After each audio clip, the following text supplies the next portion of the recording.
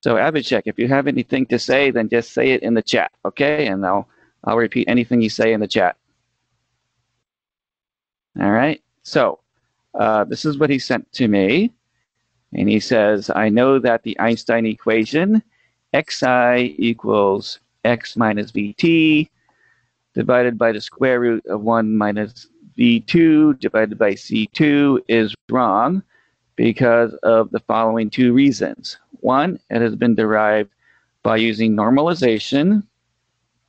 And two, it mistreats the average intercept length of a ray of light traveling along the x-axis as the x-coordinate of the position of a point with respect to the inner system.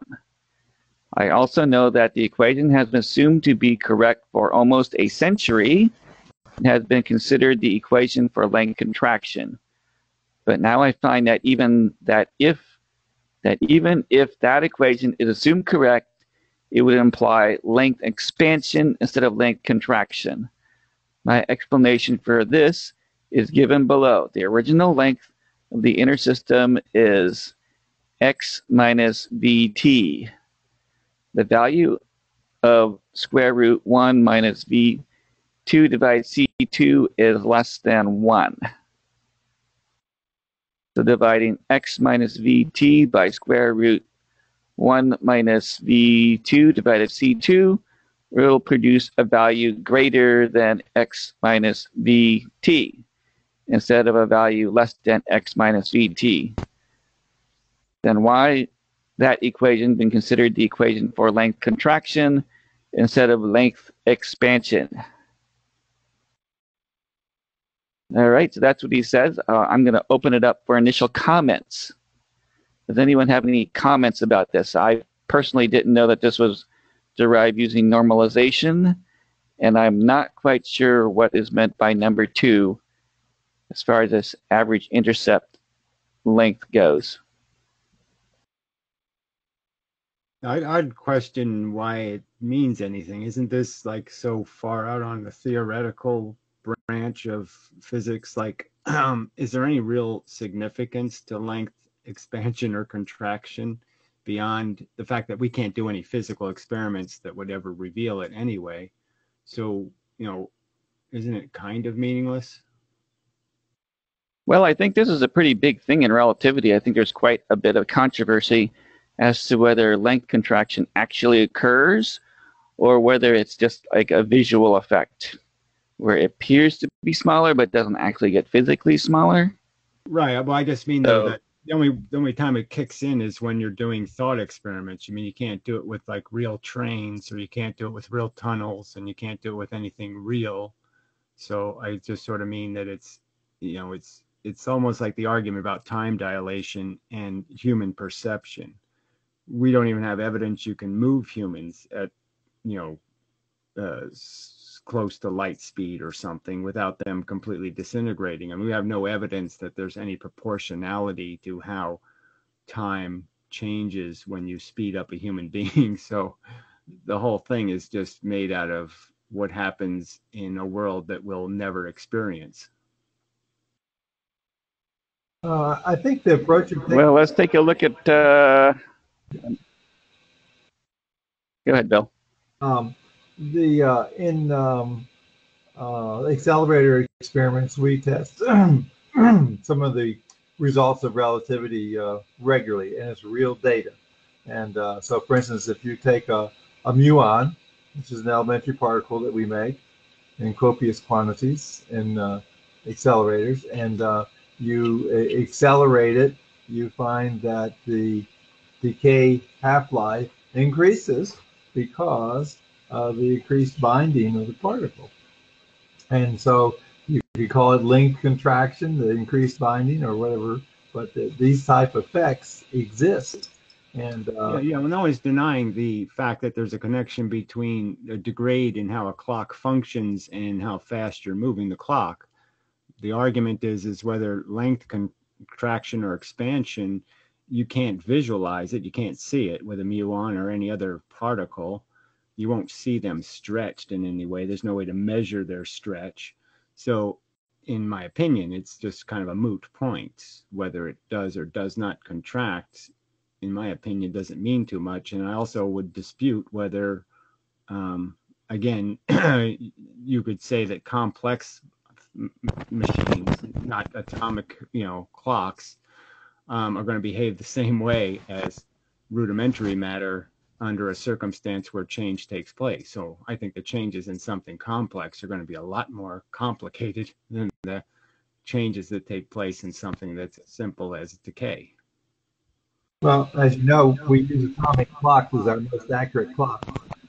Yeah, I, I'm not talking about its accuracy. I'm talking about what causes. I'm saying something physical changes when you um, move something. When something has velocity, it means it has an imbalance in force inside of it, and it's changed we know what causes these effects. I don't think you do. Built into the uh, empirical equations of Gauss's law, law, Ampere's law, uh, Lenz's law, and Lorentz's. So um, it's Lenz's law that causes the relativistic effects. Well, and, it's not the Lenz's law is not a physical phenomenon. That's like saying I don't know. It's even worse than saying Heisenberg that's it's a mathematical um, description of the effect. It's not a description of the cause. No, Lenz's law is an empirical law. What we it's a description of effects. It's not a description of cause. Lenz's law has nothing to do with causes. Cause is something you never know. well, of course we can. That's what we're doing. We're just that's what the whole subject of physics is: is to find the causes. But but Lenz's law, if you if you follow the advice of Isaac Newton in his uh, uh, mathematical principles of natural philosophy, you see that the way to make progress is you perform as many experiments as you can, find as many empirical laws as you can, then solve them all simultaneously to find the more general solution. Uh, yeah, well, Newton wasn't really good at causes either. Point, in my opinion, is to find the causes, is to describe it with a model what is physically happening. I believe it's a physical universe. I think physics is about a physical phenomenon, and I think there's physical phenomena that take place. There's a reason why, okay, the muon decays slower, a physical reason.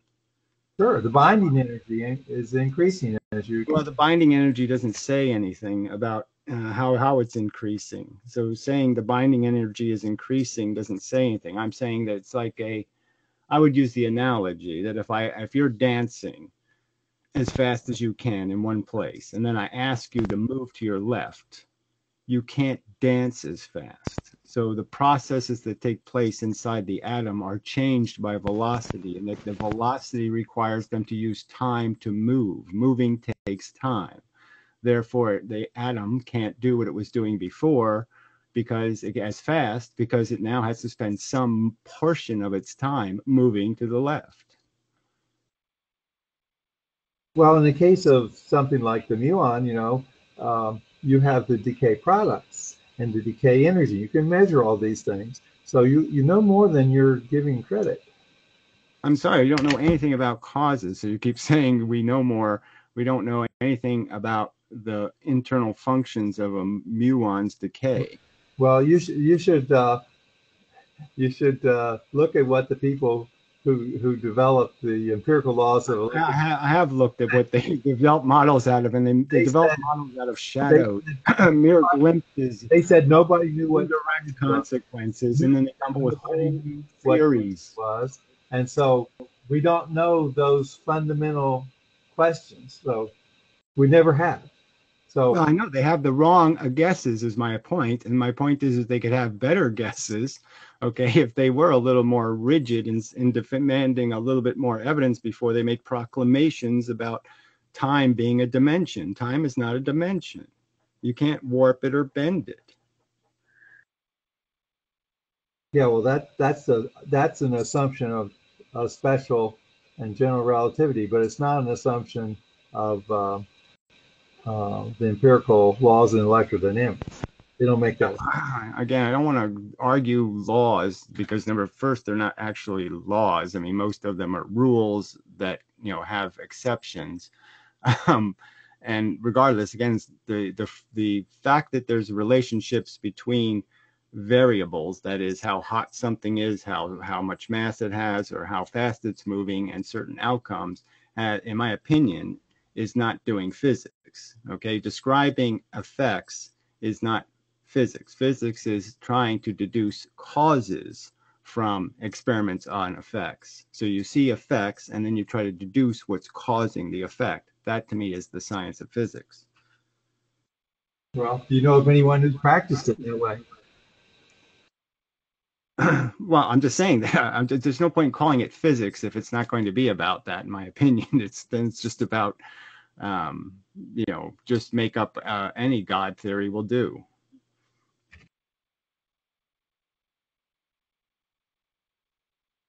Was that this difference between you know being able to provide the empirical uh, data versus explaining like how that actually works? Because as Bill points out, you know, we do have data on muons, and this is where we get the uh, time dilation. yeah, but don't we uh, have results from? But, but we don't data, necessarily know what causes that. Isn't some of the data though very suspect? Like I could argue the two slit experiment math is generally close to the right answer, but it isn't explicitly correct. So with photons, the math doesn't actually um, duplicate uh, the predict the outcome because in photons the bands of light do not have the gradient they're supposed to have from light to dark. So the math isn't even explicitly correct. And for the two slit experiment it's almost silly math because they don't have the width of the slit in the math which you know kind of gives it away as being a generalization and not really having anything to do with doing explicit dissection. So a lot of math isn't complete. So you could argue that Newton's math is really good, but it's only a 98% math, right? I mean, 2% isn't accounted for because he didn't have enough variables to know that there's these little tiny effects that are also influencing gravity. And so it's close math, but it's not perfect math.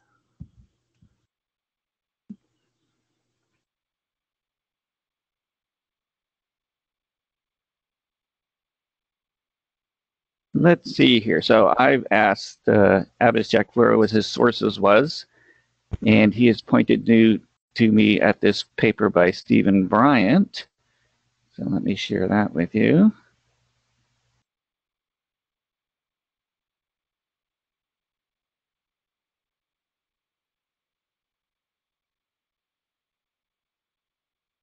So can you guys see that? This is a paper by Steven Bryant. And he's referring to the 1905 relativity paper. And he begins this derivation here. Well, isn't it the same um, basic equation as the equation for the time dilation? I mean, or isn't it just basically the same proportional amount of change in the sense that you have more change the closer you get to the speed of light? So it's the same basic concept, right? That the contraction takes place at the same proportions as the time dilation. Well, what I'm having a problem with is what's with this x minus vt specific term in here. Because if I looked at the wiki for time dilation, that's definitely not the length contraction formula.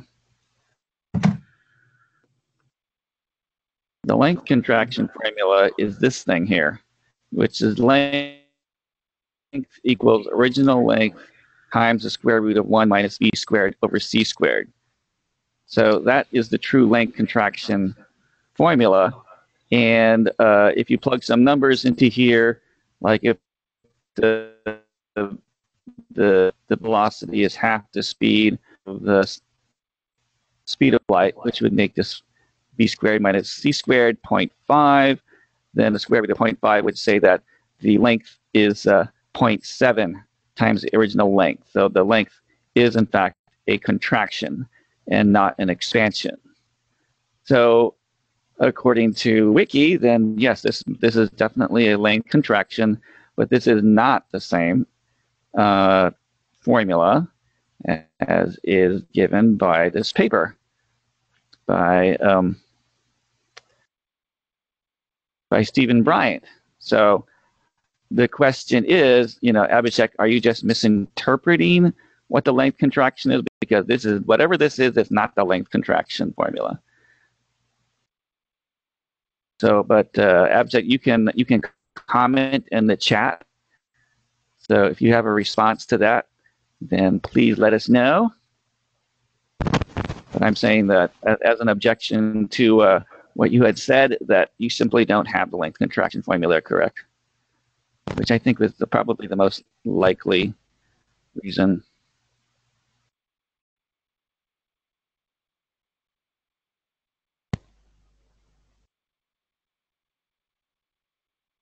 Now wait for a response. Abhishek. So Samwise and Harry are both having problems with hearing the speakers. So, but I, I can hear Bill and Draft Science. And but uh, so Sam Wise, I see that you don't even have a microphone, so I don't believe your your system is is connected properly. We seem to be having a lot of challenges here.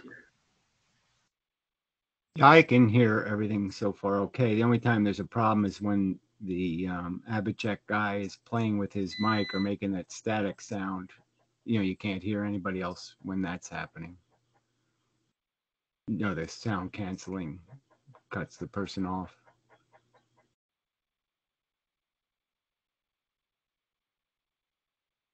I'm going suggest to Sam the exit and come back in.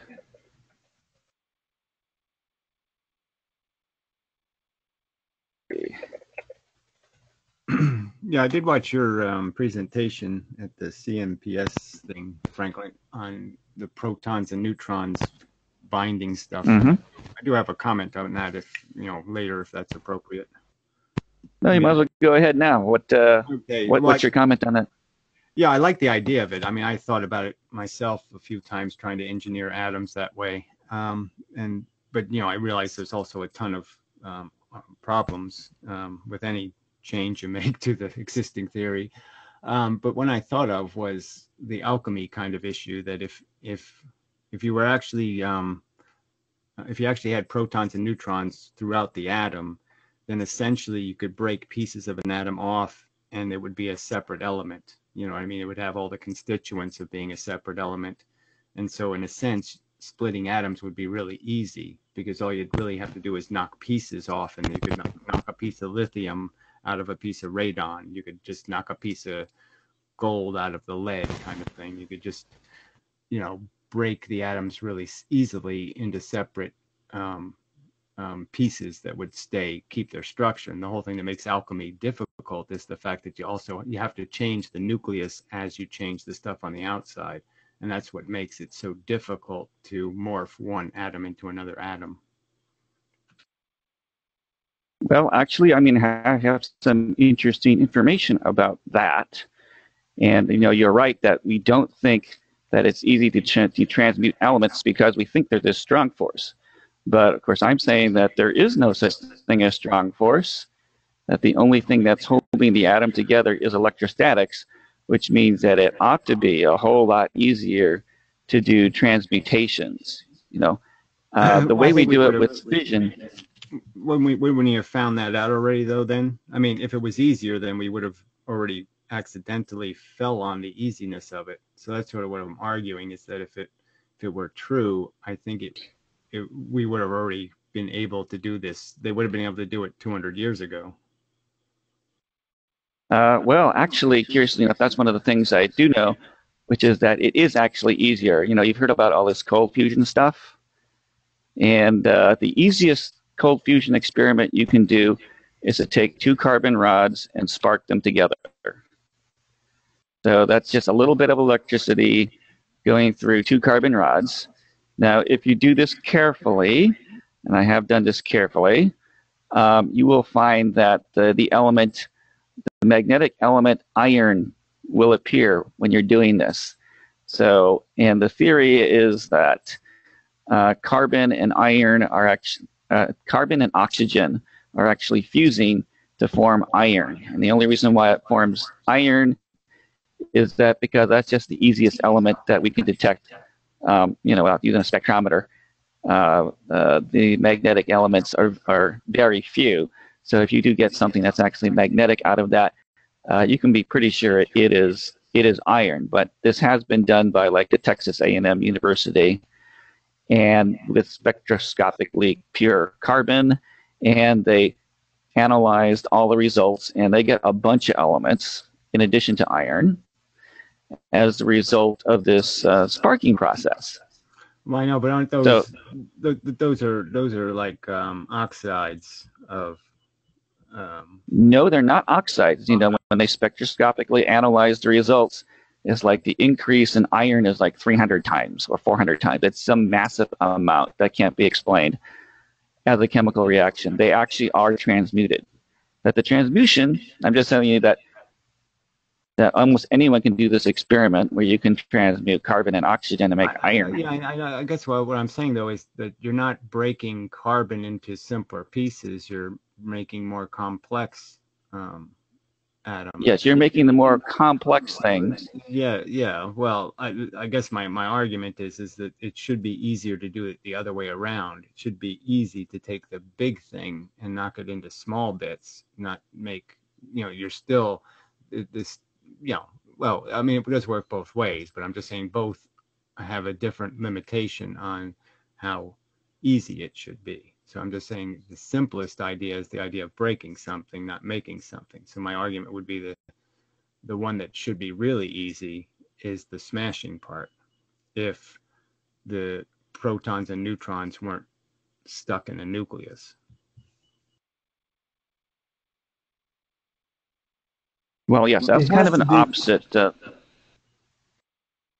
go ahead, Bill. The, if the binding energy of the larger nucleus is, is stronger than the than the smaller ones, then you're you're only it's going to be a one-way process for the most part because the uh, the bind the different binding. And I showed in my talk at the uh, conference that uh, the binding energy, the magnetic binding energy, is the strongest part of the binding energy of nuclei and uh, the uh, binding energy changes with shell size. So the when you have the larger shell sizes, they have a stronger binding energy. So iron's going to be more strongly bound than these the two atoms that you are combining together to get iron.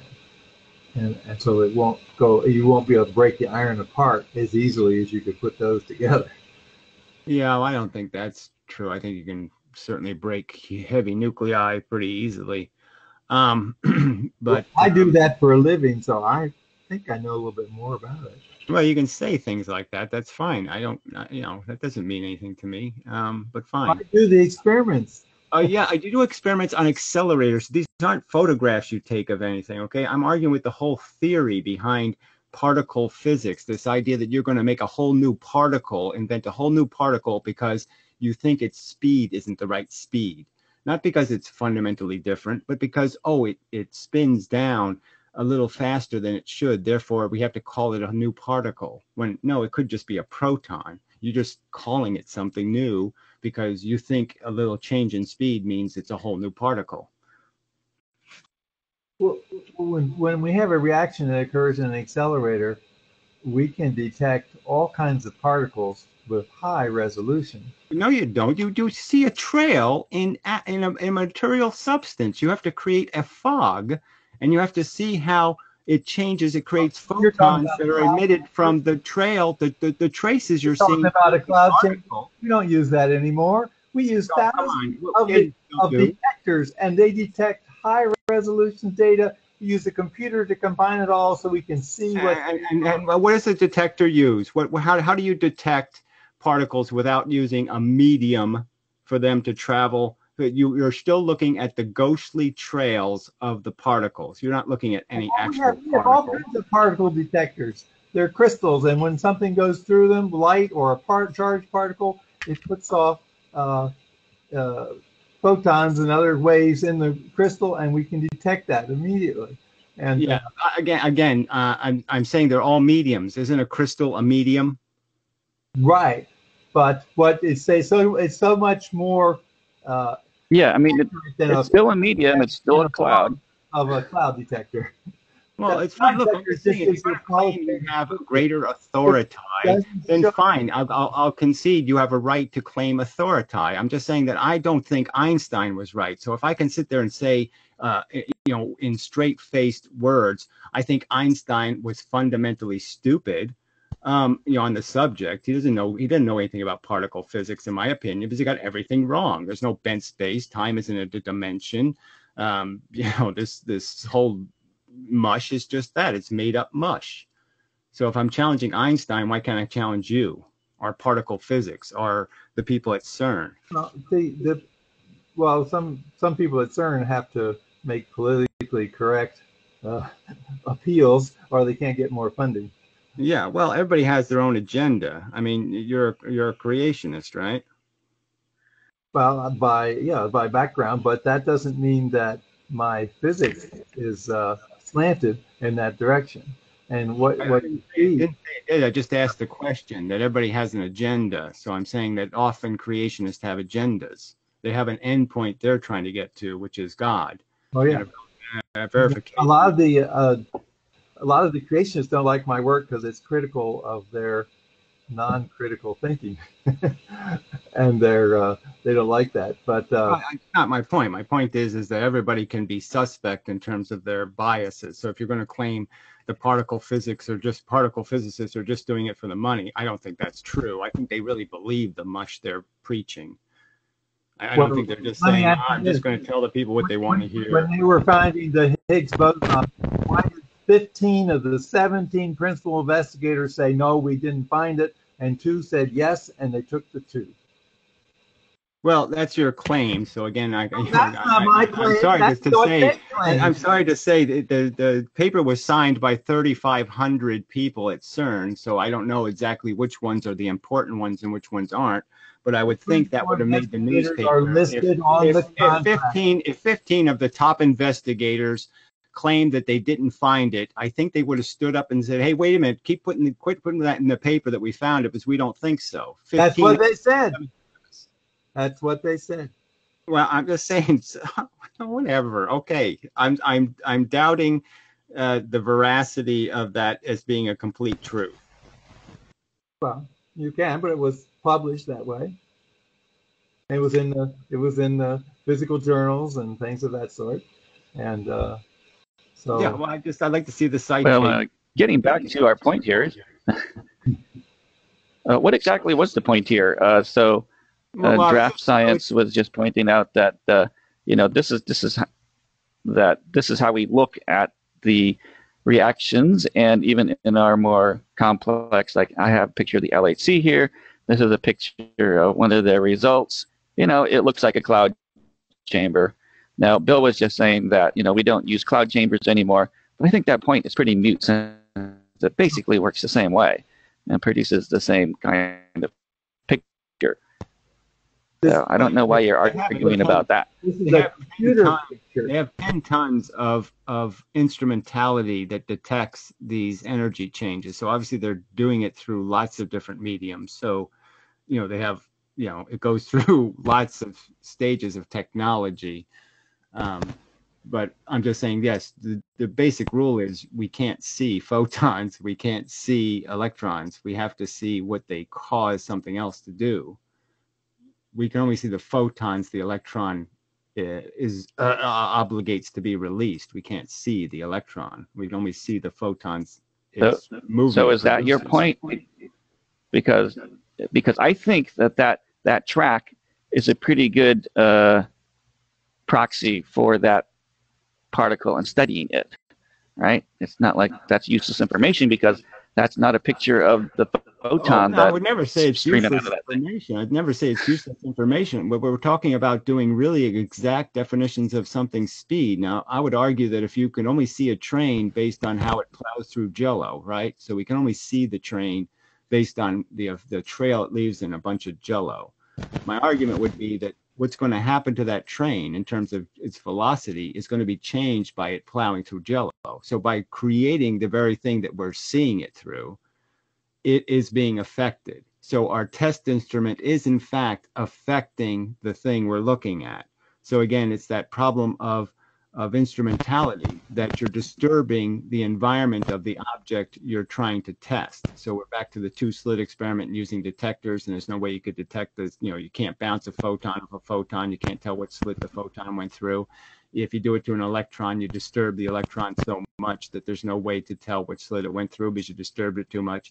So I'm just arguing that this is a huge disturbance to the um, electron when it's passing through a medium. So let's not pretend that the effect of the medium, it, we're not seeing the electron in its natural state, in its free state. We're seeing the electron in a state where it's being encumbered by a sea of jello. Well, I could agree with that. I mean, it's like certainly uh, this its velocity could be changed, and certainly they deliberately put magnetic fields in there to cause these particles to deflect. So there's no probably I would agree there's nothing terribly natural about the observed trajectory. I mean, it might be pretty close to the, the unperturbed direct trajectory, and but it, it, it may last a lot longer. Um, that sort well, of thing the for these of kinds of detectors. The whole the whole existence of a positron is based merely on the fact that they think the thing they're seeing is moving too fast to be a, a proton. So it looks just like a proton. It behaves pretty much just like a proton, except it's too too fast to be a proton. So that's the the, the, the little bit of information for which their whole creation of a new particle is based on is merely the fact that they're saying protons can't go this fast. Well, uh, I, I would argue that we don't have enough information to draw a conclusion that it's not that, that there isn't something happening to the proton that makes protons capable of slowing down that much or moving that fast or retaining that much speed. Let's put it that way. That protons might be able to go through lead without losing that much speed. Well, that's kind of pushing it, but we do notice that that uh, they they go as fast as electrons. So we do know that there's a direct comparison between those two and that you know a proton is still perhaps something different because we think that the electron and the and the positron are just the antimatter equivalents. And right, that, no, that everything we can measure about a positron is equivalent to an electron, uh, other than the charge. Yeah, right. But I don't think they're exact. And first, I would argue, and second, uh, exact reciprocals of each other. And then second, you have the problem where um, you know many of the physicists argue that the antiparticles are not real particles; they're vacuations in space, where you took something out of a place and therefore you left a void where it used to be in terms of an electrical void, you know, electromagnetic void. And um, you know, so you know, so for them, uh, antiparticles are abstractions, um, you know, not not reals. And uh, so, so I mean, there is some question about the creation of actual these actual particles. And I would argue that it doesn't, to me, it just can't make any sense because we already know what's creating mass and atoms, and it's just kind of silly to say there's a bunch of antiparticles all over the place because where's their mass then? Why why don't why don't they reveal themselves any other time except when we accelerate stuff and smash it together? Where's their role otherwise? They don't seem to have a role. They don't play any role except to show up in accelerators. Well, I mean, I suppose that's the whole question of why is it we don't have so much antimatter around. Certainly, we can we can create a beam of positrons. That's something which is commonly done, and uh, that would kind of argue against the fact that these uh, positrons are like evacuations, I suppose. Um, no, they, they okay, okay. So, okay, so look, look up the positron beam because that's not what it is. The, the positrons are created in the in the place you're sending the beam. So they send a beam of protons, and they get back uh, positrons.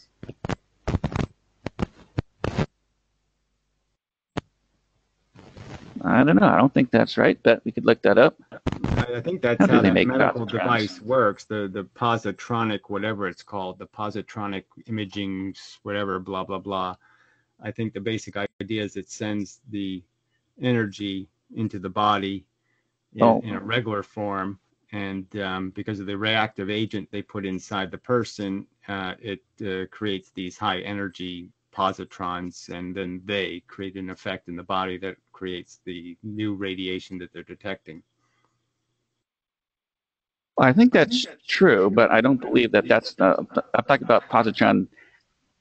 Well, really, there's a real beam of- positron generators used by I don't by think you can make a accelerators. beam- I don't think you can make a beam of positrons, so I, I don't think there's any such thing as a positron gun, like an electron gun. Well, at- In accelerators, we make positron beams all the time. Well, again, I should says you. So, again, positrons by what definition? That you you make you make things that have a positive charge, like a proton, that are just uh, have less mass than a proton. No, wait a minute. If we have a cyclotron and we have a beam of positrons in there, uh, you have to adjust the energy of the that you're putting into the cyclotron, or you lose your particle, and you have to know the mass of it, because if you don't get the mass right, you you lose the particle. Uh, look, I understand the, the rules of accelerators. I'm just saying you're saying that you're accelerating positrons. First, I'd say you're not accelerating positrons. You're accelerating protons. So the magnetic moment of the particle. the, the, the whole the, the, the hadron collider uh, all right it, it is it accelerates protons it doesn't accelerate positrons it accelerates protons But the protons are banged into something like carbon, and you make all kinds of particles, and then you filter them out to get the kind you want. they're not accelerated is my point you said that the positrons are accelerated i'm saying that doesn't happen. Positron, you take protons, you bank it into something like carbon, and you make all kinds of particles. You filter out the positrons, and you put them into a cyclotron, and then you perform experiments with them. I, i'm saying that there's no such thing so you can say that happens that that doesn't happen there's no I've done it. no positron accelerator Right. Oh, yeah, yeah, no, sorry. I'm sorry. Well, okay, go ahead and say it. I'm just saying, no, there's no such thing as a positron accelerator. Sure. There's plenty of them. They're all over the country. Los Alamos has them. No, I'm no, sorry. Well, I doesn't have an happen. article here.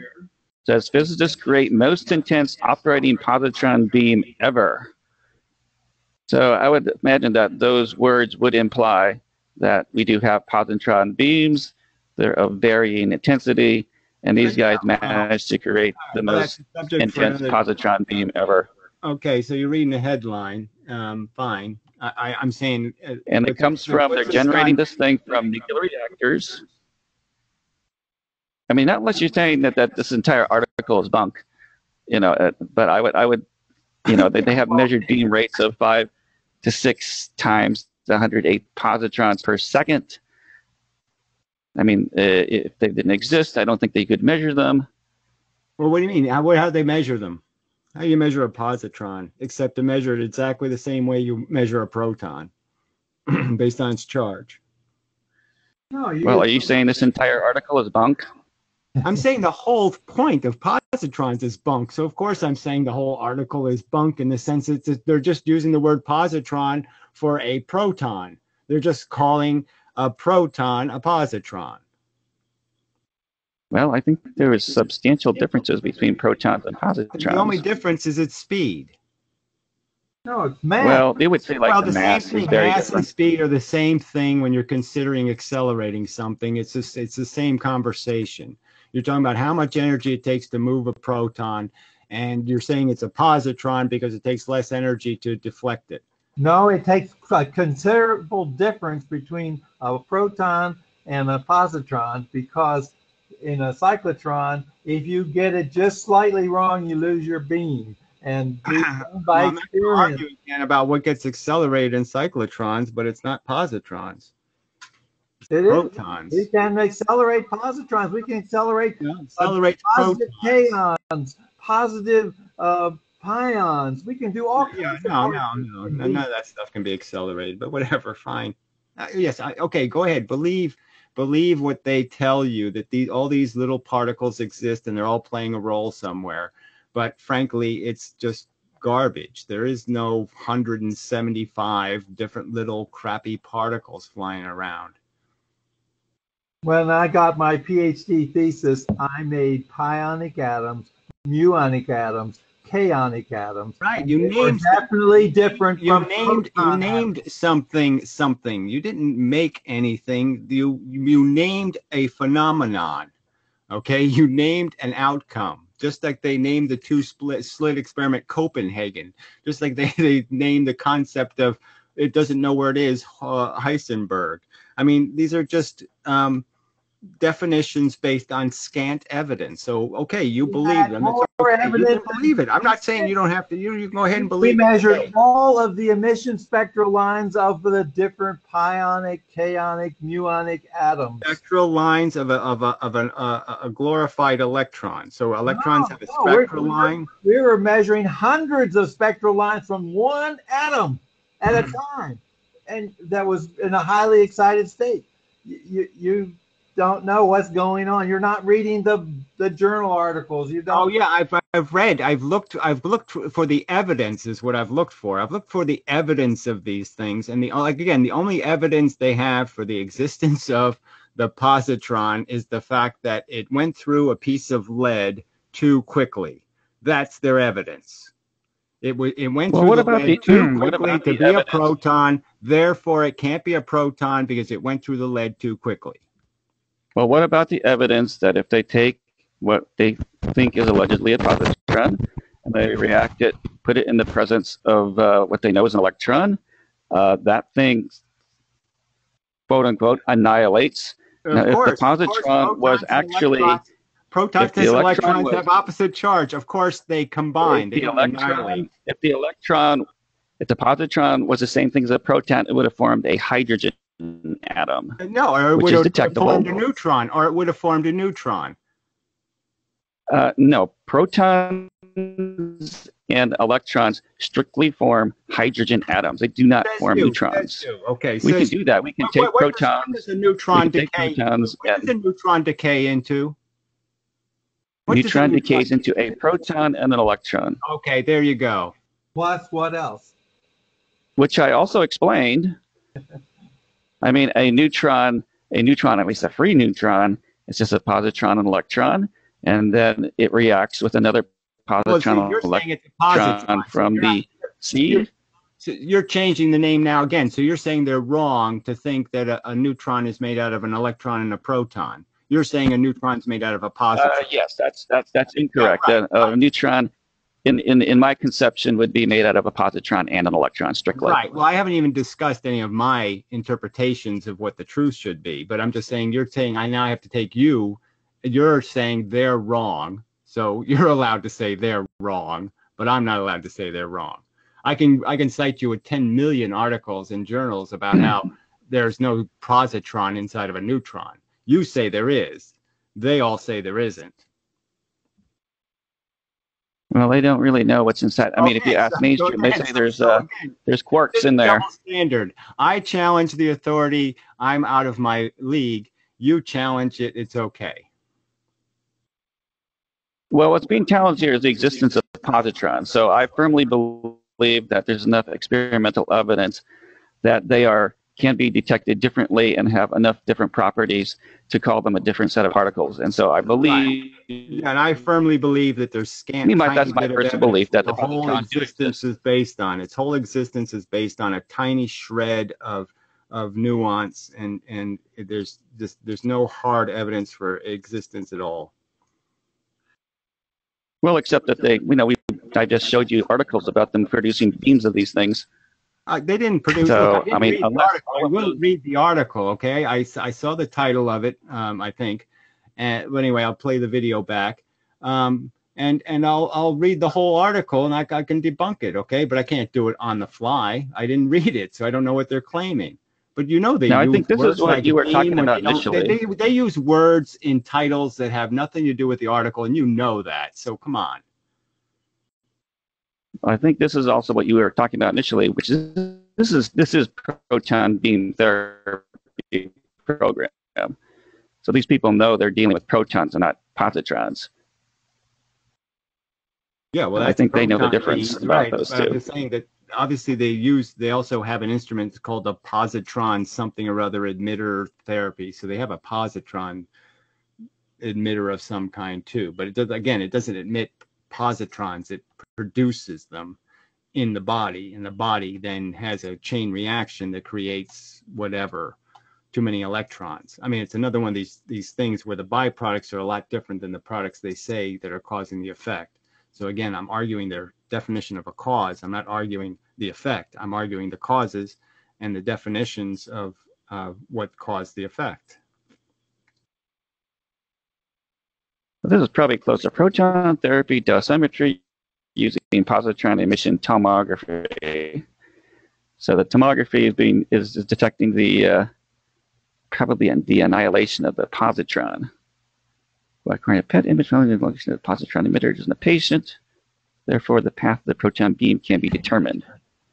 So they send in a proton beam. Those generate positrons. The positrons can be in, uh, detected by the Annihil- after they annihilate after they annihilate. Yes, the positrons annihilate. never are part of any of the inputs or the outputs. There's no positron as an output, there's no positron as an input. It's all part of the chain reaction of their speculation about what happens. That, that's not yep, right. Yep, that's the way it works. You know that picture you saw from uh, uh, CERN that you showed? Uh, you, can you get that back? Uh, well, I, I, think we know what the picture is. We all get it. It's those, those everything you saw in that picture was due to different detectors, and that picture is created by a computer. That's not uh, looking through uh, a cloud chamber or something like that. Well, I didn't I say that though? Didn't I say that their detector is 10 tons of instrumentality that they're detecting with lots of different instruments measuring lots of different things? So I already conceded that point, but it, they're okay. all they all require a medium to give you photonic results. They're all measuring basically photonic trails okay. that are created as chain reactions but just look at the dots. Those are all different detectors. They're detecting certain things. The the the things that Color are differences are like lines there. Those are not from a cloud chamber. Those are from detectors, and they're detecting uh, both directions, and they can they can draw the line because that's what their detectors are showing. And uh, so um, they put all that together in this picture and and I would I did the computer programs to do that when I was working at the Space Radiation Effects Laboratory run by the College of William and Mary, and uh, we had the most advanced accelerator center in the world for 15 years because we had the first we were the first accelerator center to have that capability. All right. Well, just just for the audience sake, let's just understand that we can't even hit an electron with a photon without substantially disturbing it. And the only way you can see something, the only way you can know it exists, is you have to throw something at it. And if you don't throw something at it, you're not going to know where it is. Or wait, wait a minute. That's not true. That's not true. Any charged particle that doesn't move in a straight line because you put a magnetic field on it must radiate continuously because it's being accelerated. And why why are why is why is a magnetic field called by these very same physicists virtual photons? Why do they concede that that radiation called magnetism is in fact something comparable to a bunch of photons being shot at it? That's exactly what electromagnetism is. It's described in the mathematics that way. It's a bunch of rays of force, which are essentially photons. They call them virtual photons. Well, experimentalists don't do that. well, well, I, I, I don't know. Engineers. Uh, what, what, what do you call them then? What do you call it? Magic then? You just say the, the, the electron magically moves? Something doesn't actually have to hit it to move it? No, but you see, once it's in a field, you continually have the light the the radiation coming off and the radiation's direction is uh, that you with a photon detector so you can detect it. And by the way your the photon detector does not detect it doesn't detect it amplifies the effect of a photons on electrons okay? So a photon detector is really amp is, is really detecting the vibrations created in electrons. It's creating an increase in voltage created by compressing electrons. So that's how we detect photons is by seeing their effect on electrons you can't see a photon any other way than to wait for it to hit an electron. That's the only way you can know it exists. We we use liquid crystals, and they, they're low temperature, and uh, you know a couple degrees Kelvin, and that's how we detect these things.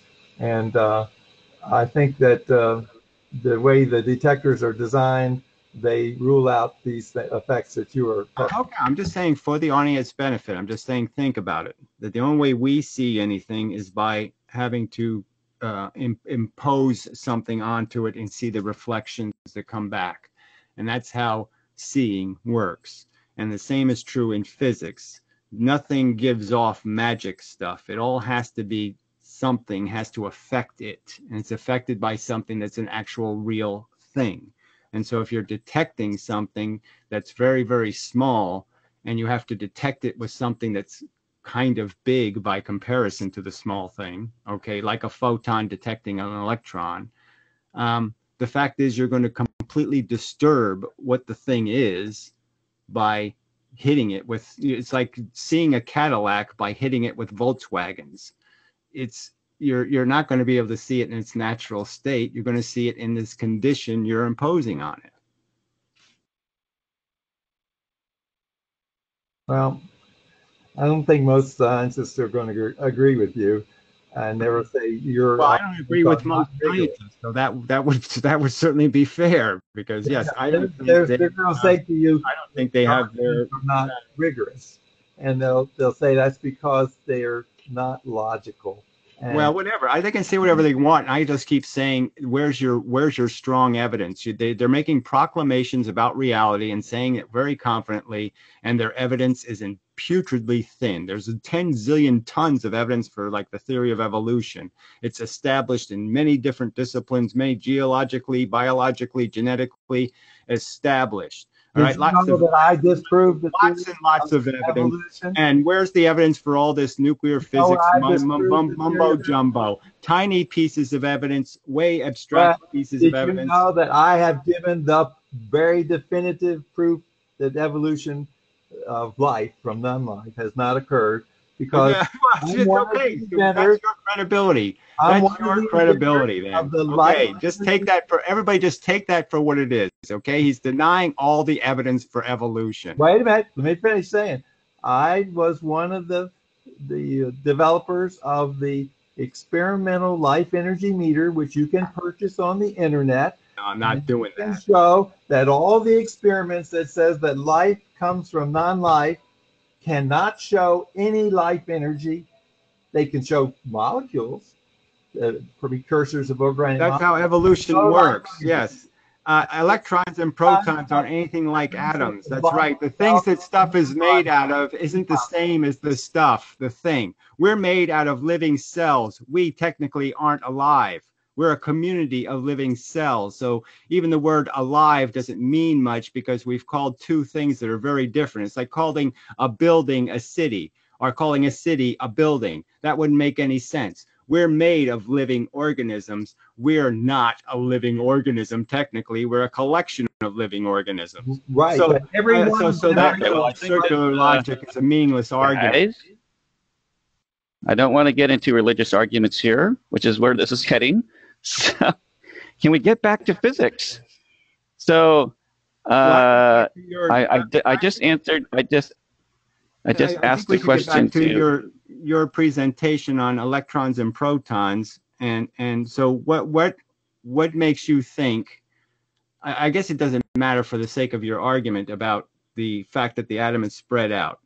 So, uh, so you think they that if if if it, so so what is your argument for wouldn't if if the if the neutrons and protons were completely through the entire atom what is your counter argument to my argument that well then it would be made of a lot of um, helium and hydrogen and uh, you know lithium and all the elements would end up being essentially in big giant um, uh, like you know radioactive heavy heavy metals would be full of a bunch of these other um, atomic structures because you'd end up repeating the same patterns. I mean, the only way you make your big atom is by making it out of little atoms, essentially. Yes. Okay. So you, can see my video. So this is the geometric uh, shape that my atoms would form. Now the thing is, is that they're very, very, you know, thin. They form this X shape. Now, effectively, all atoms are actually some combination of helium nucleuses, and this is typically referred to as like I don't like the alpha model, because when when you have radioactive decay, uh, what you typically have is you have alpha particles or helium nucleuses uh, fly off. Now, the reason for that is, like I say, all atoms are actually composed of some combination of helium nucleuses. Like if I break off this little piece here, that's would be this little square block is a helium nucleus, and all um, noble elements are actually combinations of just pure helium nucleuses. Well, I know, but and that's chemical rudimentary form. So that's like saying that on, off, on, off again. So if you say a helium nucleus is a, a, a, a if, if you put a proton next to a neutron, don't haven't you already established? Haven't we already established in in part? Well, maybe we, we haven't. If the neutron was, let's just go with the standard theory. If the neutron was an electron and a proton just very close together, then essentially you've just created a pattern where you have proton, electron, proton. And so that would be yeah. I mean, that's essentially that's effectively what I'm doing. Right. So that would be the most rudimentary element. So of course everything else would be made out of that. But my argument would be is that you would also have uh, elements of of complexity that would go further than that. Um, but there, you know, like you could have a square, like you could have you could have an electron in the middle, and then you could have four protons, let's say. You know, some other arrangement that gets you the same result say say say if it was a neutron, say you had one electron in the center, and then you had a proton, I mean a neutron connected at the four corners, you know, the four sides, let's just say. Um, well, I mean, did I answer your question about yeah, about you know why is it? I, I can't. I mean, before you go on to something new, I want to see whether I answered your question about why is it that these things can fall apart, and you know why don't they fall apart in in certain ways is what you're asking yeah i'm just saying why it would be like you would just imagine you could break an atom really easily because it was basically made out of subatoms. So you, a bunch of subatoms would just fly off. And instead what we see in fusion or fission is that when you screw with the atom you end up with a bunch of tiny energy left over. Like if you're able to break the nucleus you break into a big clump of one thing okay and you end up with a bunch of energy as the result. And that's why nuclear power works, is because you basically create a smaller element that com- recombines, um, and you end up with a bunch of energy left over. Or else you take two of something and put it in, you get one out and a bunch of energy left over. So it doesn't break into a bunch of atoms that just break into pieces. It breaks into a bunch of energy, which in my opinion implies that it's got to be a lot more complicated than a bunch of atoms stuck together like molecules. Well, one interesting piece of atomic data you might want to look up is that when atomic fission does occur, um, the atom doesn't really break apart into, like, say, half. So uh, if you can see, I have this chart here that I got from hyperphysics. This is called asymmetric um, uh, fission, and that basically the thing that at least likely to break up into is half. So A equals 111, 118. That is actually the least likely thing for it to break up into. The most likely thing for it to break up into is uh, chromium at A atomic weight 95 and uh, barium, I think, is 137. So that's kind of weird. Why is it when we have fission that it breaks up into these particular pieces? Well, I think it does. So the reason why those are the ones that are stable. So I mean, uh, you know, no, that's not true. There's no there's no argument for stability here. There's a bunch of uh, elements. They're all actually all these elements are probably stable. There's not a stability argument to be made. You can't just um, you, you can't just break lead into gold. So I'm just saying that the simple argument is you can't just knock off a couple of protons and then make a new element. So um, it has to break into. Well, the question is why? Well, uh, let me give you the question. Why would you assume that the nucleus wouldn't be symmetrical like everything else. Like we have two eyes and we have two brains essentially, and we have lots of two-ness happening. Yes, I mean that's a good question because this thing of all the possible shapes you could form, you know, this is one would be one of the less obvious. I mean, why would it form into like this? Why wouldn't it just be a more concentrated? Why couldn't it just be a, a, a cube, right? Because I could have clearly taken all these Legos and just arranged them into a cube, and they would take up the same number of elements, right? But why this? Well, one of the motivations for this is that if you imagine if I took this and I threw this against a wall, you know, what's going to happen to it? The most vulnerable pieces that are likely going to fly off is like uh, one of these one of these uh, X's, like one of these X's. Tear off one of those X's is one of the most likely things to have happen, right? Or maybe tear off two of these X's. Uh, it, it's going to come off in basically one quarter pieces. I know, but isn't that an right? argument for my so, exact argument? That's a, that's an argument for my exact point. My point is that they do this with neutrons. So they they're you know the neutron it can can affect an electron, but it's not going to create a chain reaction, so you'll never see it. So you could shoot neutrons at atoms all day, and you could be hitting electrons and knocking them out and creating ions and doing all kinds of stuff, but you'll never see them because there's no chain reaction. And you're only going to see it when you cause the chain reaction. That is when you hit the nucleus, and the nucleus creates three more neutrons, and those three neutrons hit nucleuses and create three more neutrons, and you know, so you have this magnified effect. And so the only way you effectively start splitting atoms is by actually hitting something important. And it seems clear there's something important in the sense that the, the nucleus itself breaks um, symmetrically. Well, it breaks. If the atom was shaped like an X, then you would expect that you would get a shape like shown in the graph.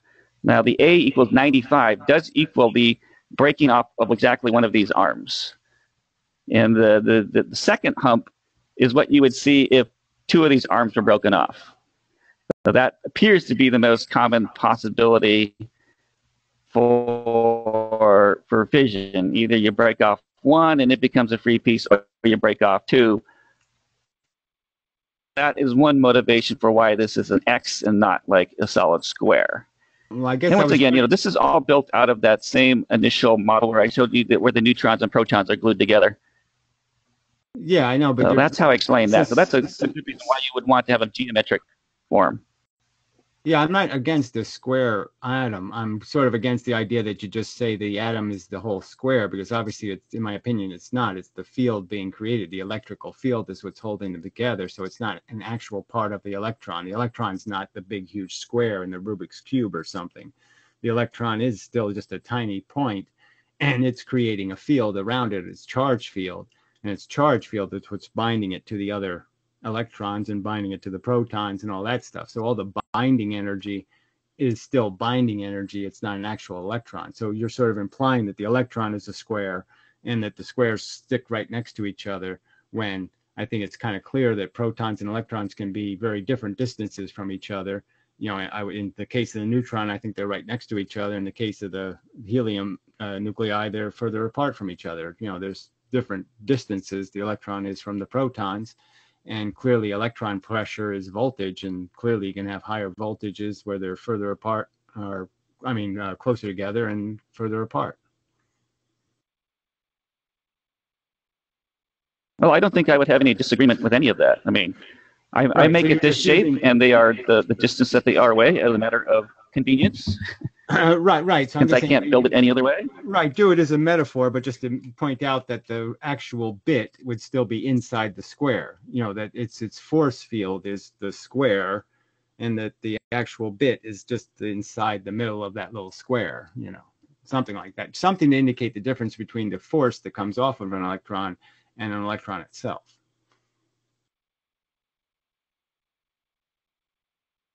Yeah, but I think in most cases that's not going to substantially affect the geometry.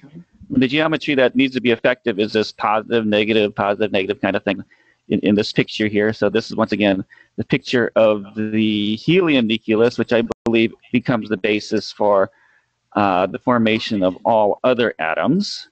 I mean, the trick here is you have to figure out, you know, what is that, what is that neutron doing to act as a glue so that such that the neutrons and the protons are stuck in the atoms. But no matter how much energy you you, you shoot at an atom, only the electrons generally come out. I mean, so that, so that's what I was trying to explain. That, that there's a glue there. There's an electrostatic glue that allows one of the electrons to be free because it's not actually attached to anything because all the other pieces um, have their mates, but this electron is free uh, simply because it, uh, it, it it doesn't find a mate inside this particular structure. Because actually, for a while, I couldn't really explain this myself. You know why why this why this structure actually glues together. Why is it that the protons and neutrons are bound? And uh, that's just the way I came up with it. So that's another reason why I think the neutron is just a positron and an electron. I mean, for a while, I didn't know whether I thought whether a neutron was a proton and electron. For a, a long while, apparently, I thought it was, um, or whether a neutron was actually two positrons and two electrons is another possibility. Um, but yeah. finally, because because of like the, the way that it's required geometrically uh, in a physical model, that the, that the neutron can only have a single positive and single negative charge represented by the positron and the electron. Yeah, that, well, that's how I came to that conclusion. Uh, yeah, well, I have a, uh, another, you know, from my own theory, I can sit there and explain how the strong force is really a weak force because the the electron mitigates the is, is actually the you know their attraction between the protons the protons end up close together because there's an electron in between them the electron is attracting both the protons, obviously, if you want to use that vernacular. So that's the strong force, is just the fact that you have an electron that's channeling the positive repulsive forces and converting essentially the, the, the repulsive forces between the protons into an attractive force between the protons. But regardless, the other problem with the square geometry, obviously, is that you end up creating diagonals and it's kind of it's kind of blows in the face of the inverse square law. So you end up losing the fact that these things do radiate force proportionally. There's not like one direction where it has more force and less force in another direction. So I don't think there's any evidence that electrons have spikes in their um, charge, you know, that they're charged more at the corners and charged less at the, uh, you know, at the sides. And so square geometry, you know, has that weakness in the sense that it would end up creating strong and weak charge areas. Well, that's actually my whole basis for how chemistry works. So I have a picture of nitrogen here. So this nitrogen is created from two helium nucleuses. Those are shown in the middle and to the right. And then we have unequaled, then we have these are just basically half helium nucleuses on the bottom and the top and left. This creates asymmetry. And so the, the, the helium nucleuses are still uh, non-chemically reactive. So the right-hand side, chemically non-reactive. Uh, yeah, but the well, top, bottom, and the left are chemically reactive because they're asymmetric. So I mean that that's how that's why nitrogen binds to three I, I, atoms and, and generally a triangular I wasn't arguing that atoms aren't asymmetrical. I'm arguing that electrons can't be. That charge. Yeah, electrons, like I said, I would agree that they are spherically symmetric. Right. So they can't. And uh, that that if, if if it helps you, I mean, if, if these were made out of spheres instead of Legos, would that help you? Well, I'm just saying, kind of, I, I, yeah, I, am just saying that they can't really fit together any other way. Uh, you know, so I'm just saying it's not that it would help me. I'm just saying it would be more accurate. So that's all I'm saying. So you can, you know, I, I'm not nitpicking. I'm just saying that visually this looks more binding than if you did do it in circles. So if you did do it in circles, then it doesn't look quite as binding. I'm not still not quite sure if I understand understand your your point here. I mean, you're trying to. Well, it's obviously circles. It, it, it sounds more like a, a nitpick than a, a, a real problem. Space. Obviously, circles will create a lot of empty space. That is space that won't be occupied by the charge or by a particle. So, because circles won't fit together in, you know, right next to each other perfectly, they won't fit together in this kind of way. Circles will have to fit together you know, uh, on edges, and there'll be a whole part of the the a whole part of the atom that will have nothing in it, so to speak. Circles will create more, less efficient, um, co- less compact atom, correct?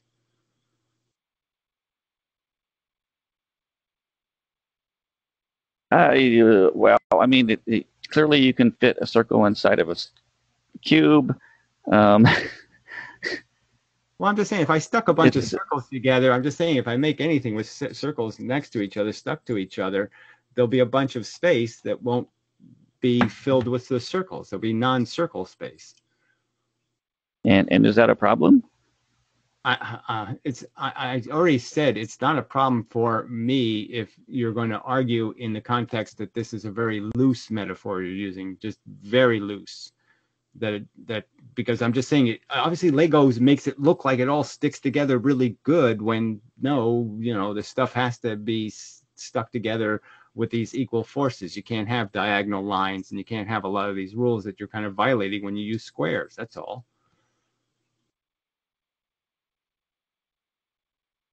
Well I suppose but I'm not sure if that's I mean we, you can get magnets spherical magnets and they lock together exactly like these Legos well, I know, but a square magnet also locks together the same way because it's the inverse square law kind of rule, and you know the the you know the, the, I'm not saying the shape is irrelevant. I'm arguing that there's no evidence. But I mean, I'm, I'm more interested no in, the, in the bigger issues, not are square. So I'm just saying there's no evidence that they produce charge that has points.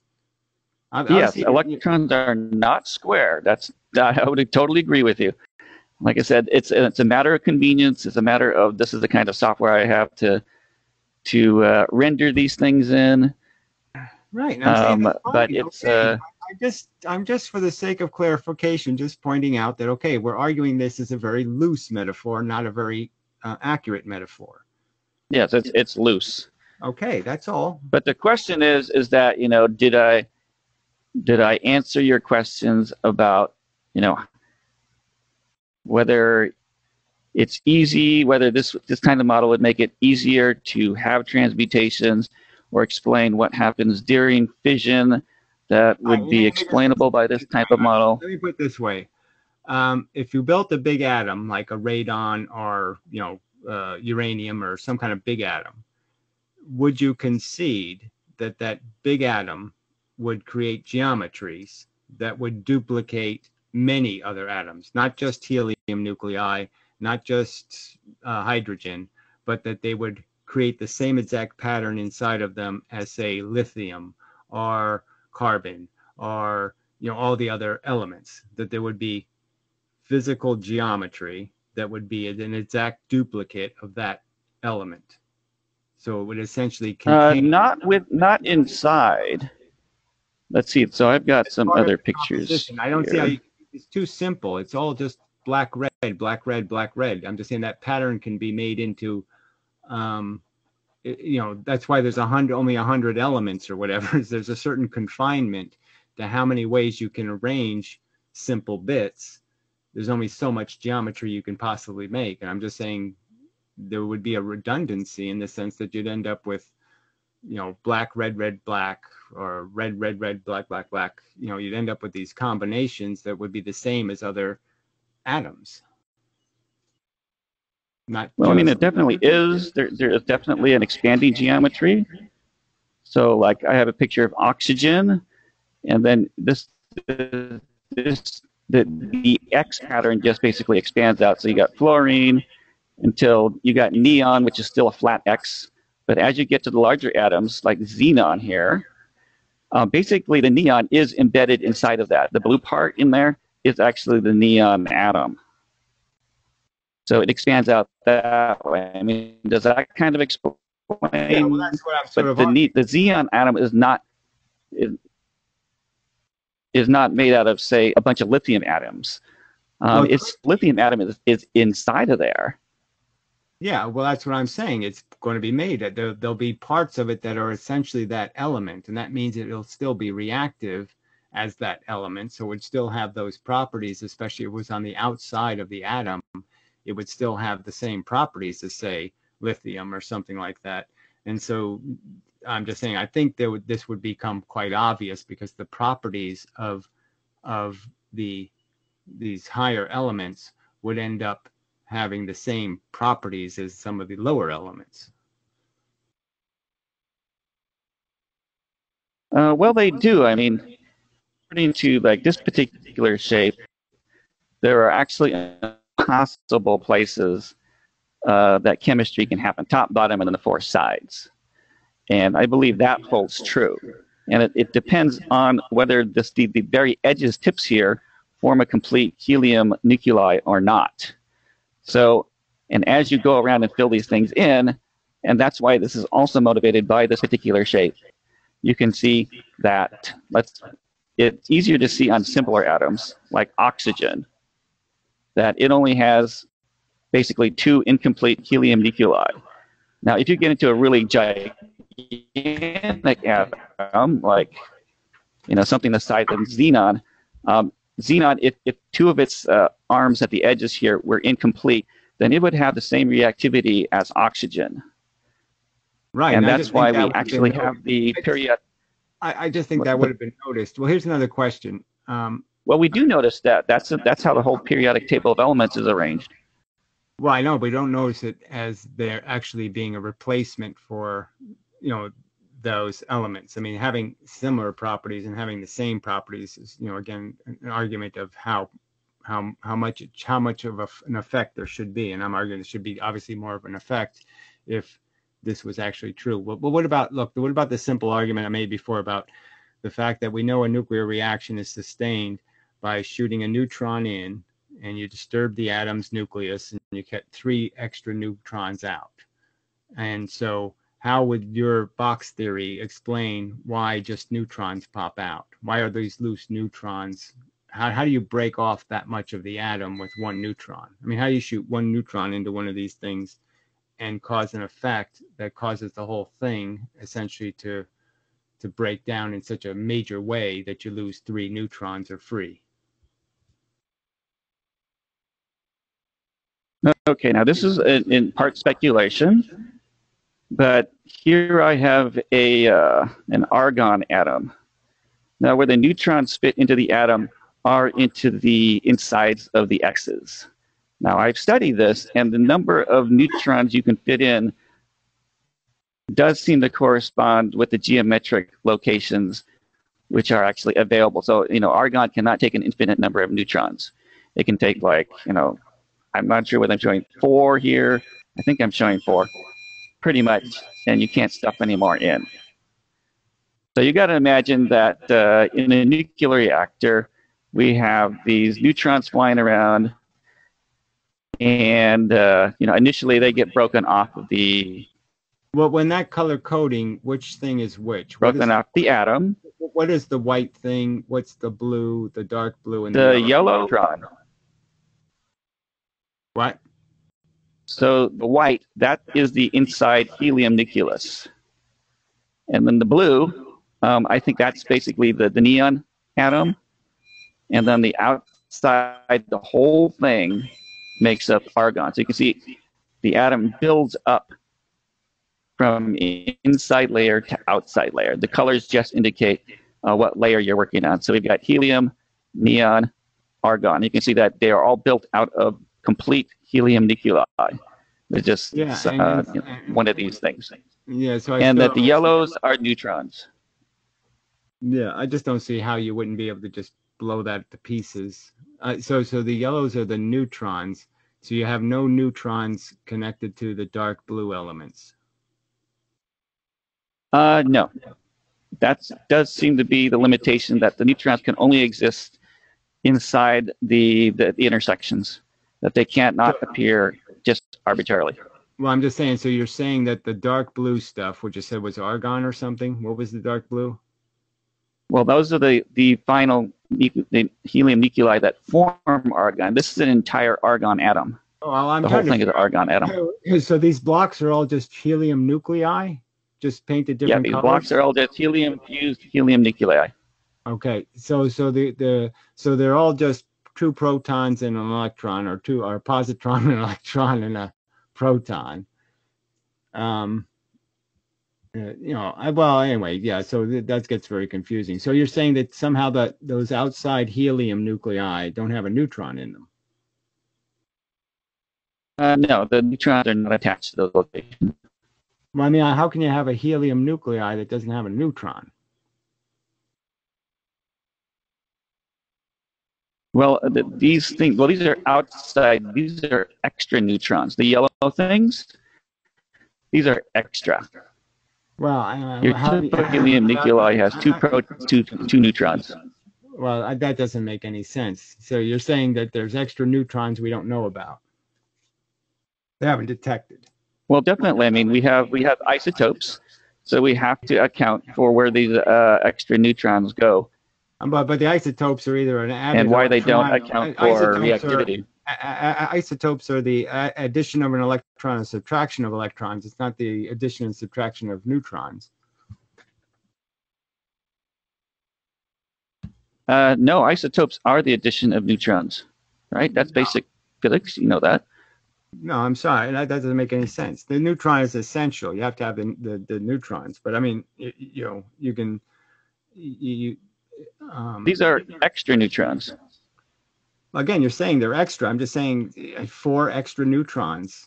Uh, wouldn't we know there was four extra neutrons? Uh, yes, we we do. I mean, if you look at what the, I mean, let's just go look at WebElements and you can see them, right? Uh, there's isotopes with four extra neutrons. Yes, uh, uh, uh, there's four extra neutrons And four extra, the, like, it's four possible. extra, four extra electrons, I presume. Then Uh, no, they're not four. Like, so let's see. Let's we're looking at argon.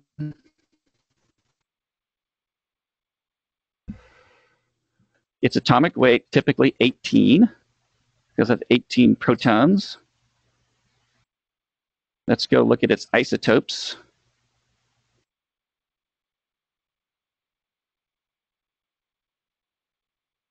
More properties. Uh, let's see here. Physical properties, atom sizes, isotopes, and NMR. Okay, so these are the naturally occurring isotopes of isotope. So we have like uh, argon 36, argon 38, argon 40. And then we have the radioisotopic data. Now the neutral one is uh, 18 times 2.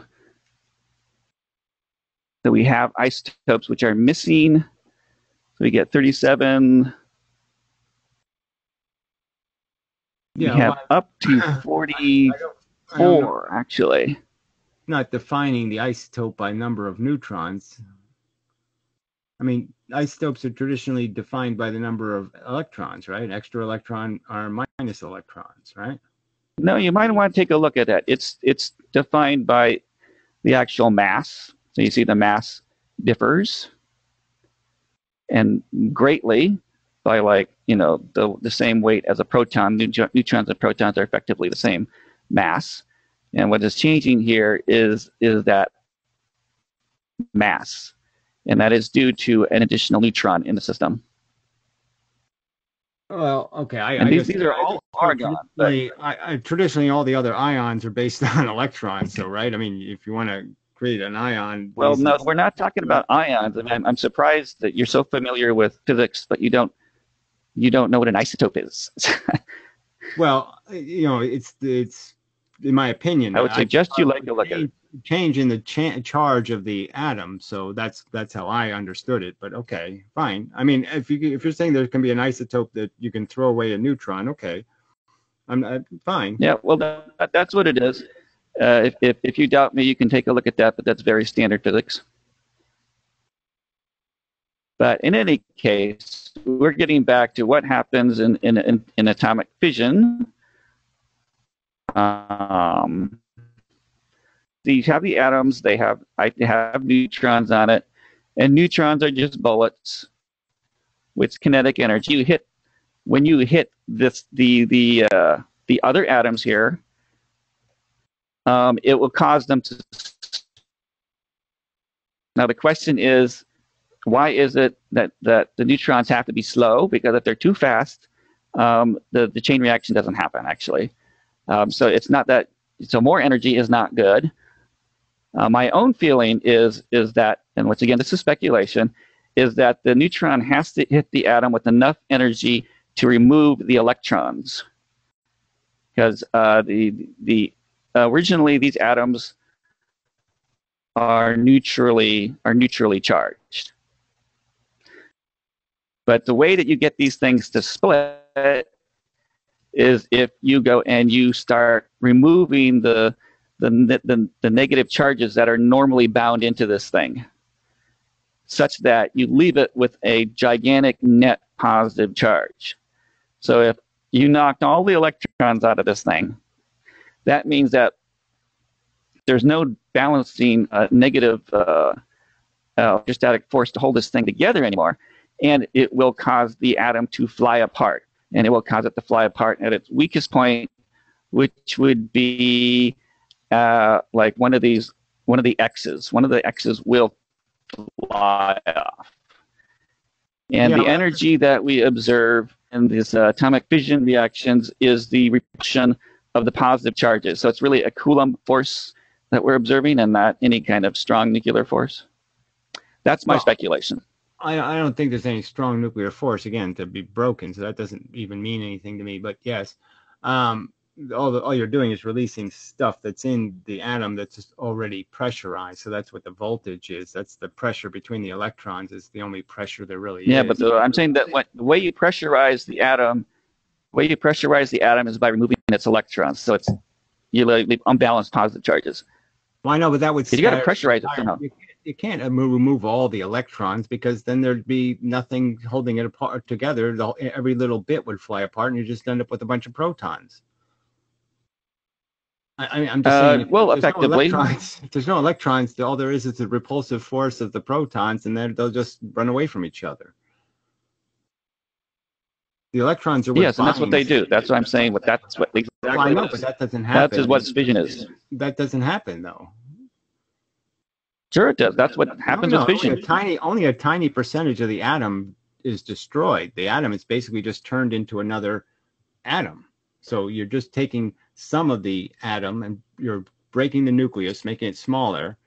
Uh, uh, and so you convert uranium into whatever, barium or something. I can't remember exactly what you convert it into, but you're converting it into another um, atom. And your the leftover is the leftover. Yeah, so I would think That's we totally agree on that. Right. So you couldn't have removed all the electrons because then just you wouldn't be able to. No, you don't remove all electrons. You, you just remove enough. Well, I don't. I don't. And once enough has been removed, well, why? Why do you think removing electrons is how the thing works when you're shooting a neutron in? Because it doesn't.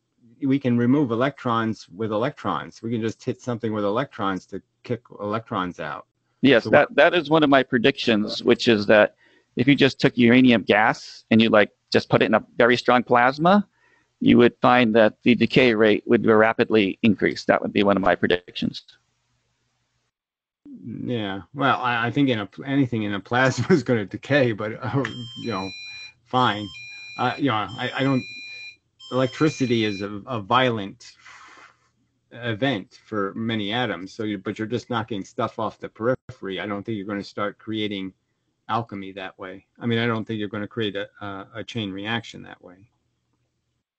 Well, a chain reaction is just a matter of just uh, getting enough energy out of the initial reaction to cause another reaction. And that's what a chain reaction is. And obviously, there you have to balance it so that it, it keeps on going.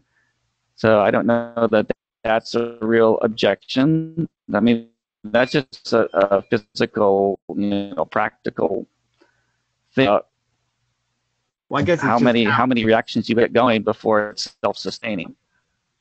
Um, right, but uh, there's still players, I'd say, in atoms that are bigger players and less, lesser players. So I would argue that the protons are more rigidly held or more massive, however you want to look at it. So it's more energy to move a proton than it takes to move an electron.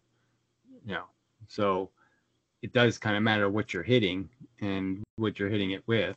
So I'd you know I'd still tend to argue that if neutrons um, were in outs on the outside of atoms, we'd have real evidence of that.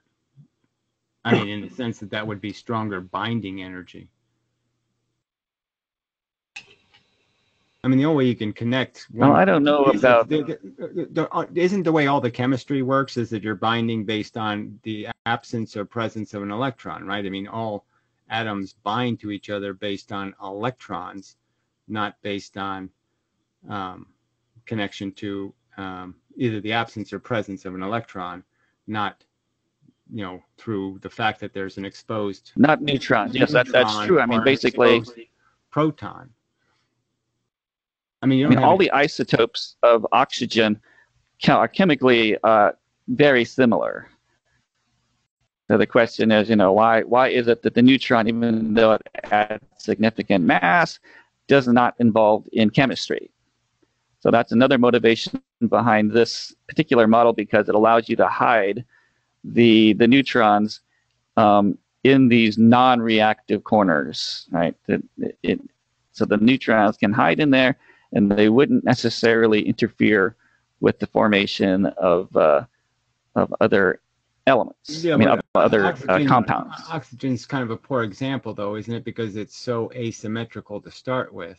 I mean, it, that's why it's so reactive, is because it does have such an obvious polarity. You know, where it has an empty shell um, available for binding. So you know, it you don't make it isotopically more stable.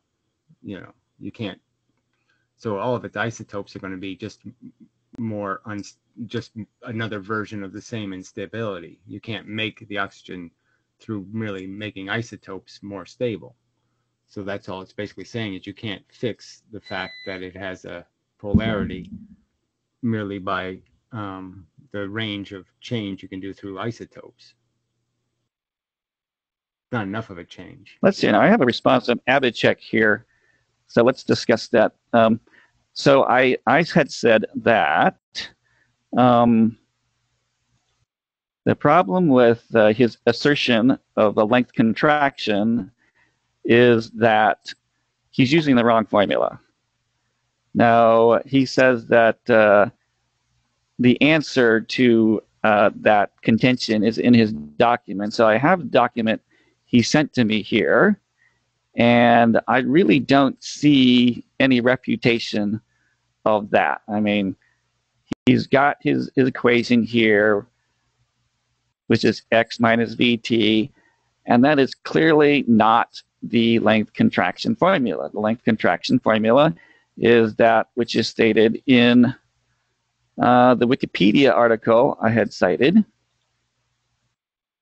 And so I have to say, Abhishek, I don't, I don't uh, see that that's at all um, addressed by your document. So can you clarify? Can you chat something else, saying, you know, is is the the formula that I have in the wiki page wrong, or how would you argue that?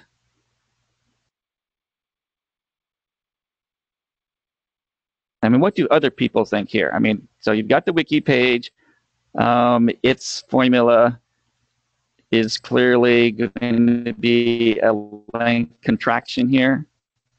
So that's this formula here. That's the length contraction formula. And so that's not going to be a length expansion formula.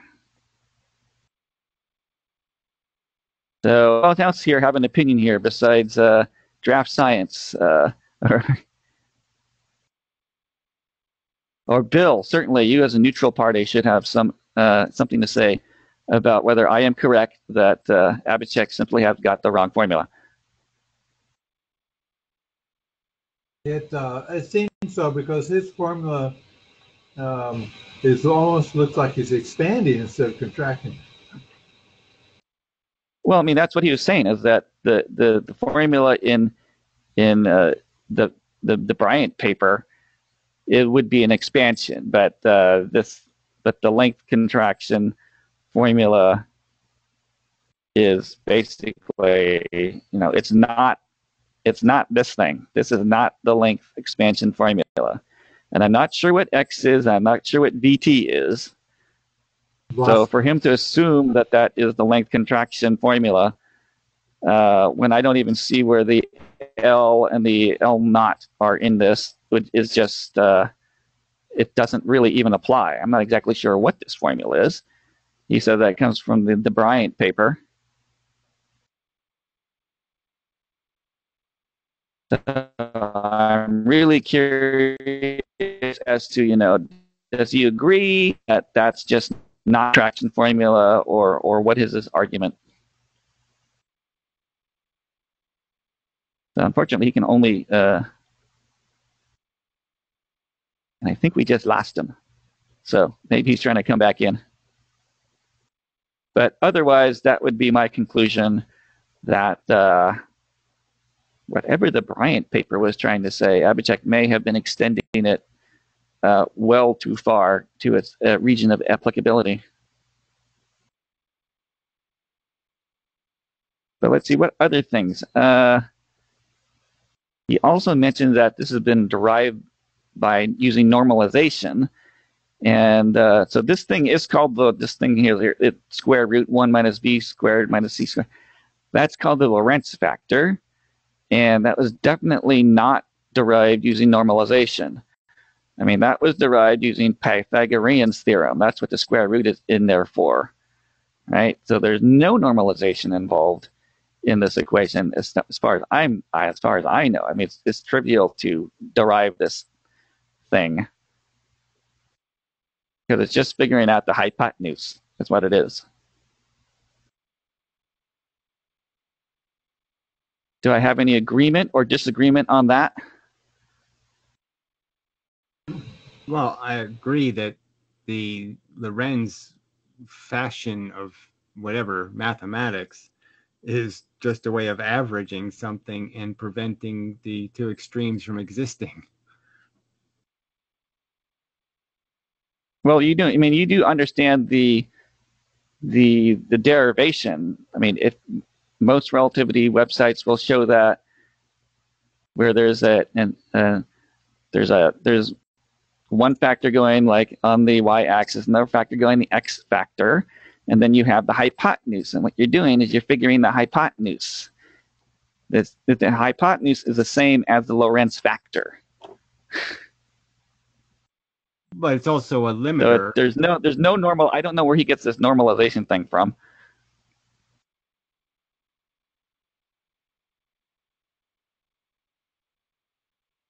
Let's see if Wiki has something about that.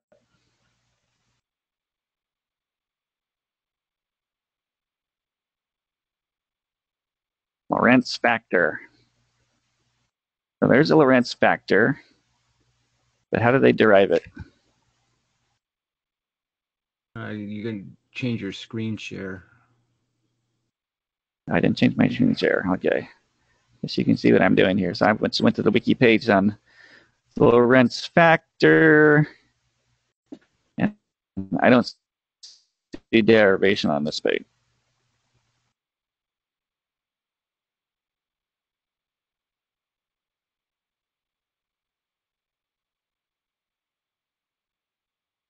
Lorentz transformation.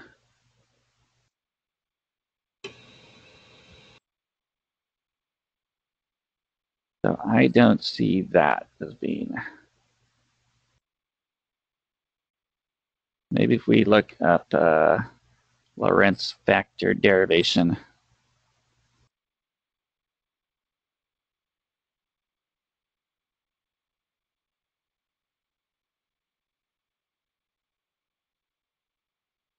if that has anything to do with normalization. Derivations of Lorentz transformation.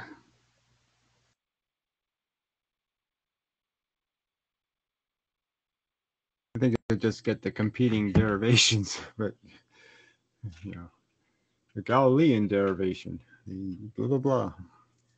Standard configuration.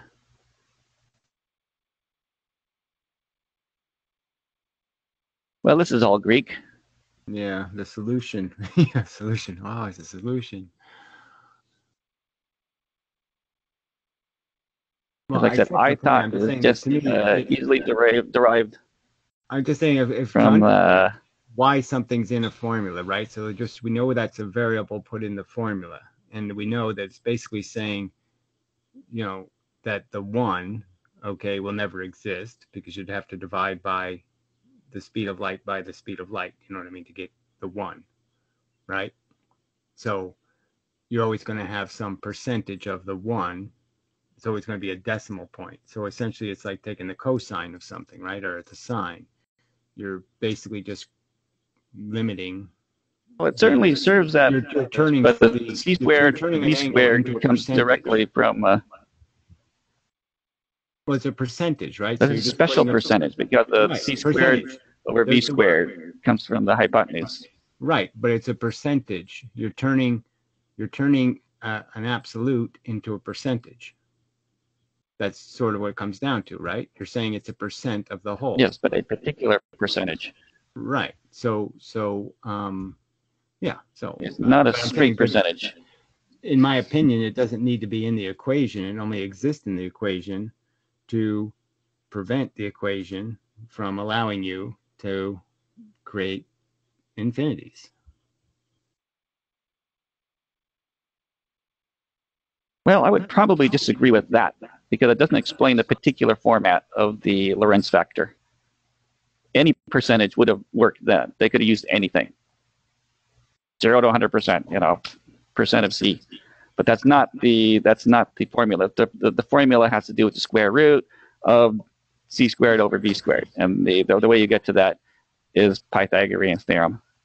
Right, but they aren't going to end up with a parabola. So they're not going to end up with a hypotenuse. They're going to end up with a parabola that says you contract more as you approach the speed of light, and you contract less the slower you're going. So the contraction is at a higher percentage. It's not a straight percentage. It's not like if you go half the speed of light, you're half contracted.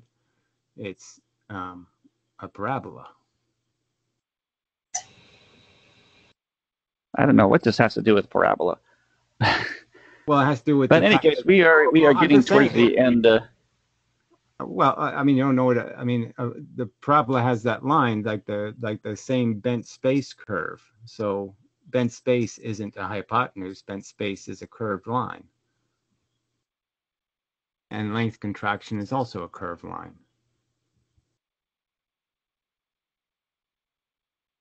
Well, it's definitely occurred. I mean, it's it's an exponential square root uh, thing, so it's definitely not linear.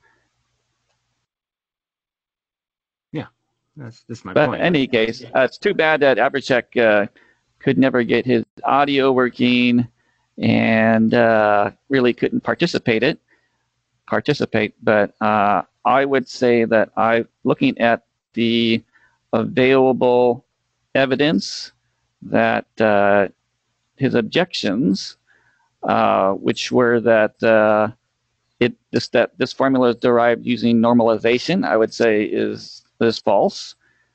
I would say this is derived purely using uh, Pythagorean's theorem and not normalization. And I am not sure what this mistreats the average intercept length is about. Um, this third point is that this equation is used for length contraction. I would contend is simply incorrect. The correct formula for length contraction does produce lengths which are less um, as the velocity increases rather than expanding. So, uh, like I said, it's unfortunate that Abhishek could not uh, be here to explain what his points are. All those points do appear to be uh, motivated from this paper by Steven Bryant. So, if anyone is interested in that, um, they, can, they, they can take a look at that. I believe that link is in the chat. But I believe uh, we have come to the end of uh, this uh, uh, science chat, and I thank all participants. And uh, hopefully, um, we'll be we'll be able to um, not have quite so many technical problems. We seem to have lots of technical problems with people not being able to uh, hear the speakers, or being able to connect, or being able to use their microphones. Um, but uh, that that is that. Now, one change is that we are going to be changing the system that we are going to be using for these Saturday science chats. uh, starting the, uh, probably the next chat. There's something called Easy Talk, which we which we will be using. So uh, watch out for that change in the uh, the mails I send out with Mailchimp. There will likely be new instructions on how to use that new chatting system since uh, this one uh, is being turned off at the end of this month. All right.